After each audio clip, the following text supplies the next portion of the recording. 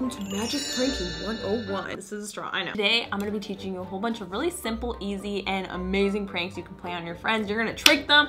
You're gonna make them think that you actually know magic. Give this video a thumbs up if you wish magic existed, but hey, you know what? Give this video a thumbs up because magic does exist, and I'm about to show you how. Today's video is a collaboration with Dennis's Outlet, my boyfriend. Make sure you check out his channel. He does a lot of really awesome vlogs, and I'm constantly on there. We show you behind the scenes and just really cool stuff. Ready for this? I'm about to disappear. Ready? Three, two, one.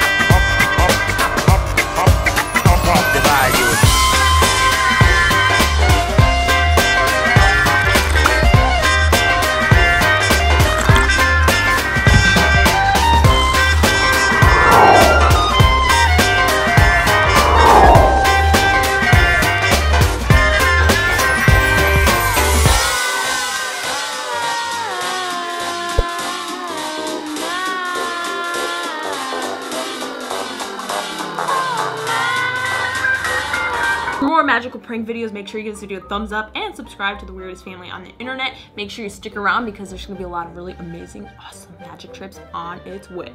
Trips, tricks. Don't forget to subscribe to my boyfriend Dennis at Dennis's Outlet for a lot of really awesome content. And I'll see you guys in the next one. Stay magical.